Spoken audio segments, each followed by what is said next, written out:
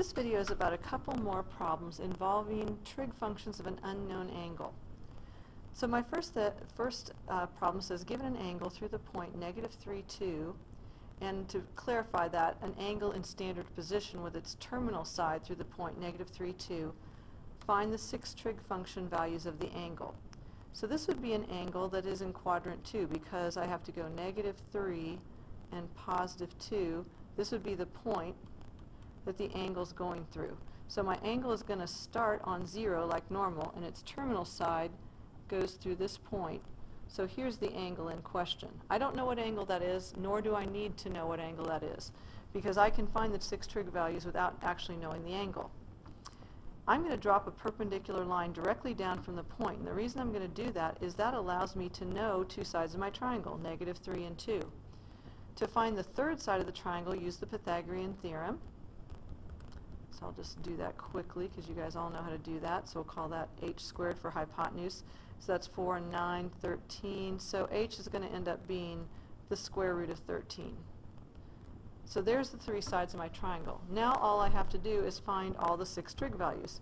So sine of theta is 2 over the square root of 13. If you rationalize the denominator, that would be 2 square root of 13 over 13.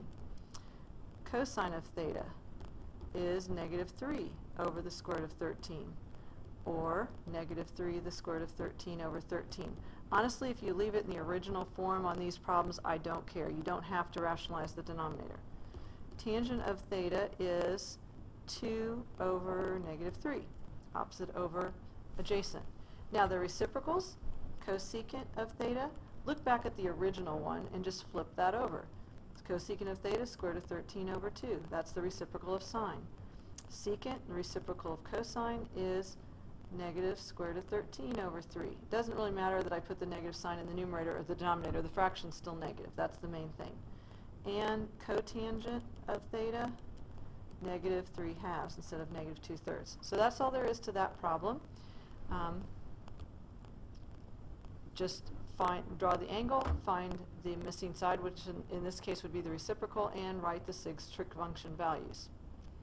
Now, given theta in quadrant 4 and cosine theta equals 1 fourth, find cotangent of theta. So now we're given some information, first of all, that theta is in quadrant 4. So I'm going to draw a quadrant 4 angle. It says cosine is 1 over 4. That's adjacent over hypotenuse. So the hypotenuse is 4 and the adjacent side is 1. And I tried to draw that somewhat to scale.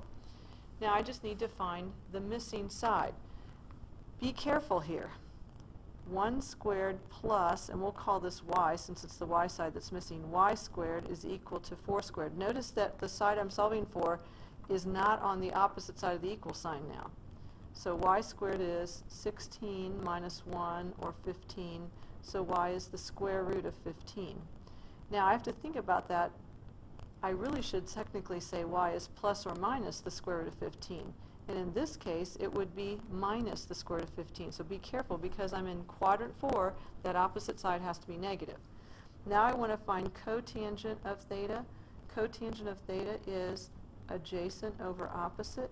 So cotangent of theta is 1 over negative square root of 15 or negative square root of 15 over 15. So those are the two other problems, types of problems that I want you to know how to do for this unit.